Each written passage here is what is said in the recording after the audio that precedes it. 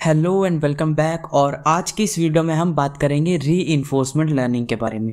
अब री enforcement learning का जो बेसिक ओवरव्यू है, वो इतना सा है कि इसके अंदर जो हमारा एम एल मॉडल होता है, यानी कि मशीन लर्निंग मॉडल होता है, वो ट्रेन किया जाता है to make decisions based on trial and error यानी कि प्रीवियस जो हमारी दो लर्निंग टेक्निक्स थी सुपरवाइज लर्निंग और अनसुपरवाइज लर्निंग वो क्या करती थी? वो हमारे डेटा के बेस पर डिसीज़न लेती थी.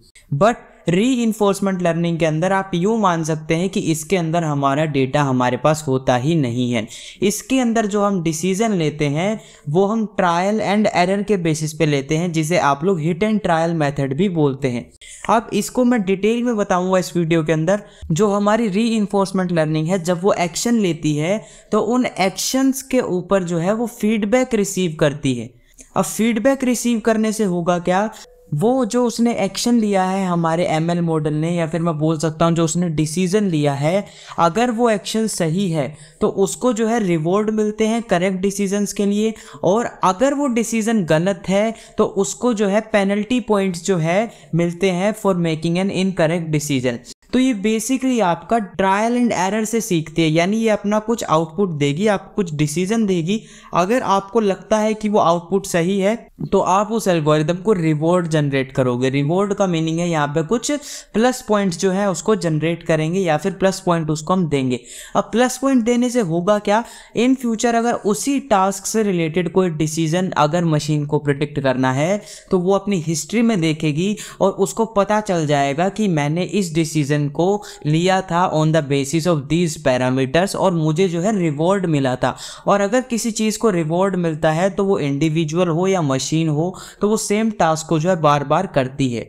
और अगर डिसीज़न गलत है तो हम उसे पेनल्टी प्रोवाइड करते हैं, जिसे हम बोल सकते हैं नेगेटिव मार्क्स प्रोवाइड करते हैं, जिससे जो है मशीन को पता चल जाता है कि मुझे इसका ये डिसीज़न नहीं देना था, और वो इन फ्यूचर उन पेनल्टीज़ के बेसिस पे जो है, उन सरकमस्टांसिस पे, उन पैरामीटर्स पे रॉन्ग डिसीज़न नहीं प्रोवाइड करेगी। जैसे जैसे वो trial and error method implement करती जाएगी डिफरेंट सर्कमस्टांसिस पे डिफरेंट पैरामीटर्स पे और उसके बेसिस पे जो है कोई भी ट्रेनर या इंस्ट्रक्टर उसको एक्शन के बेसिस पे फीडबैक प्रोवाइड करेगा। फीडबैक वो प्रोवाइड करेगा रिवॉर्ड या पेनल्टी की फॉर्म में। और उन रिवॉर्ड पेनल्टीज़ के कॉम्बिनेशन से जो है, हमारी जो मशीन है, हमारा जो री इन्फोर्समेंट लर्निंग का मॉडल है, वो जो है ऑटोमेटिकली सीखता चला जाता है और फ्यूचर्स में बेटर डिसीज़न ले सकता है। अब ये जो है बेसिकली आपका यूज़ किया जाता है गेम प्लेइंग में। रोबोटिक्स में या फिर कंट्रोल सिस्टम्स में।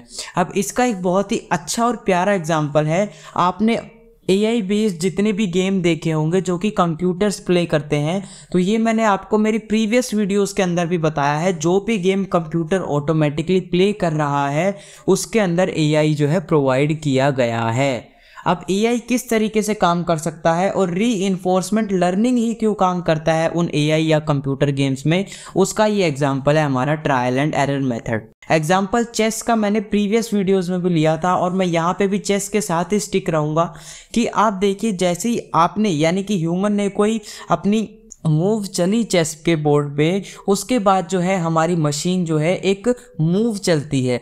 और अगर उस मूव के बेसिस पे ह्यूमन उसको जीत जाता है उस गेम को या उस गेम के मूव को ओवरकम कर लेता है ओवर आउट कर लेता है तो मशीन जो है, आप ध्यान से अगर चेक करेंगे तो नेक्स्ट टाइम वो सेम मूव नहीं चलेगी।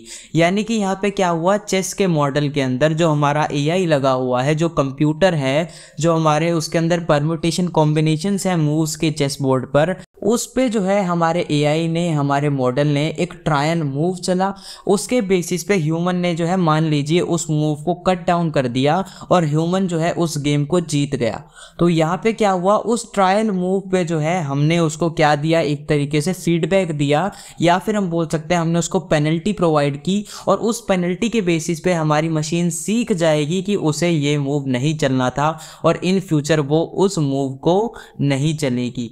और इसी का अगर ऑपोजिट केस अगर हम डायरेक्टली लेते हैं, अगर वो मूव लेती और अगर हम उस गेम को हार जाते, हम उस गेम को लूज़ कर जाते तो वो मशीन के लिए क्या था? एक तरीके से रिवॉर्ड सिस्टम था रिवॉर्ड पॉइंट था, जिससे मशीन जो है उन मूव्स को इन फ्यूचर यूज़ कर सकती है। तो री लर्निंग की ये कुछ एप्लीकेशन है जो कि गेम प्लेइंग के अंदर हम यूज़ करते हैं, जहाँ पे भी एआई बेस्ड गेम्स होते हैं कंप्यूटर बेस्ड गेम्स होते हैं। रोबोटिक्स में हम इसका यूज़ करते हैं और कंट्रोल सिस्टम्स में जो है हम इसका यूज़ करते हैं। अब ये जो है बिल्कुल उसी तरीके से जैसे एक छोटे से बच्चे को, एक क्रॉलिंग बेबी को जो है हम नई स्किल सिखाते हैं, कुछ बिहेवियर सिखाते हैं। और उन बिहेवियर्स के बेसिस पे जो है हम उस स्मॉल बेबी को स्मॉल चिल्ड्रन को जो है रिवॉर्ड्स देते हैं। जैसे कि अगर हमने उसको बोला कि आप इधर से इधर चल के आइए, और अगर वो सही डायरेक्शन में मूव करता हुआ अगर वो बच्चा आता है तो हम उसको कुछ टॉफ़ी प्रोवाइड करते हैं चॉकलेट्स प्रोवाइड करते हैं क्लैपिंग प्रोवाइड करते हैं, या फिर मैं बोल सकता हूँ अप्रिसिएशन जो है हम उसको देते हैं। तो ये जो अप्रिसिएशन है, ये उस स्मॉल चाइल्ड के लिए क्या होता है? ये उसके लिए रिवॉर्ड सिस्टम होता है। और इसी तरह अगर वो रोंग डायरेक्शन से आता है या फिर वो कोई गलत काम कर देता है, गलत काम इन द सेंस कि जो उसे करना चाहिए था डायरेक्टली वो वो नहीं कर रहा है। तो उसको जो हम क्या करते हैं? डांट लगाते हैं। डांट लगाते हैं या फिर हम उस पर शाउट आउट करते हैं। तो शाउट आउट करने का मीनिंग है कि हम जो है, उस बच्चे को जो है पेनल्टी पॉइंट प्रोवाइड कर रहे हैं नेगेटिव पॉइंट प्रोवाइड कर रहे हैं। तो इसी तरीके से जो है हम अपने री लर्निंग के मशीन लर्निंग मॉडल को भी जो है ट्रेन करते हैं। अब आप देखेंगे यहाँ पे जो है इनपुट रो डेटा है। अब रो डेटा के अंदर क्या है? डायरेक्टली जो है हमने इस रोबोट से पूछ रखा है, क्या ये एप्पल है? क्या ये एप्पल नहीं है? तो सिंपली इन दो टर्म्स में जो है हमने रोबोट से पूछा हुआ है, हमारे रोबोटिक्स एआई मॉडल से पूछा हुआ है, क्या ये एप्पल है, क्या ये नहीं है? तो ये जो है, इस प्रोसेस को जो है, अपने एनवायरनमेंट में लेके जाएगा, अपने एजेंट के पास लेके जाएगा। एजेंट बेसिकली इतना सा होता है जो कि क्या करता है, आपको आउटपुट के बेस पे जो है, यानी कि आउटसाइड जितनी भी चीज़ें हैं एनवायरनमेंट में, उसके बेसिस पे आपको कुछ एक्शन प्रोवाइड करता है। तो वो उसने अपने इस मॉडल ट्रेनिंग फ़ेज़ में भेजा और यहाँ पे जो है, मान लीजिए कि हमने उससे पूछा एप्पल है या नहीं, और उसने जो है, मान लीजिए कहा कि एप्पल है। और जब ये एप्पल है, हमें दिख रहा है यहाँ पे कि ये एप्पल है तो यहाँ पे क्या किया, किसी ट्रेनर ने जो है इसको क्या कर दिया प्लस में जो है पॉइंट दे दिया प्लस वन और अगर मान लीजिए इसने आउटपुट दिया होता कि ये एप्पल नहीं है तो हम इसको फिर एक पॉइंट देते that is penalty point that is minus one. तो ये प्लस वन, माइनस वन जो है, ये हमारा रिवॉर्ड पेनल्टी सिस्टम होता है। अब नेक्स्ट टाइम जब उस सिमिलर पैटर्न का कोई भी आइटम कोई भी फ्रूट आप उसे दिखाएँगे तो मशीन क्या करेगी? इट इज़ एन एप्पल ये बेसिकली क्या करती है? सिंपली प्रिडिक्ट कर देगी कि ये एप्पल है। तो अब देखिए, हमारी सुपरवाइज लर्निंग के अंदर क्या होता था? सुपरवाइज लर्निंग के अंदर हमारे पास इनपुट रो डेटा होता था, जिसके अंदर हमें क्या था? इनपुट भी प्रोवाइड रहता था और आउटपुट भी प्रोवाइड रहता था। और इसी के ऑपोजिट अनसुपरवाइज लर्निंग के अंदर सिर्फ़ हमें इनपुट प्रोवाइड रहता था आउटपुट प्रोवाइड नहीं रहता था। और अब अगर आप देखेंगे री लर्निंग के अंदर तो री लर्निंग के अंदर क्या है? ना ही हमारे पास कोई इनपुट है और ना ही हमारे पास कोई आउटपुट है। तो ये किस तरीके से काम कर रहा है? ये काम कर रहा है हमारे ट्रायल एंड एरर मेथड पे reward and penalty based system पे। तो ये जो है हमारा कंप्लीट ओवरव्यू है, हमारे री इन्फोर्समेंट लर्निंग का।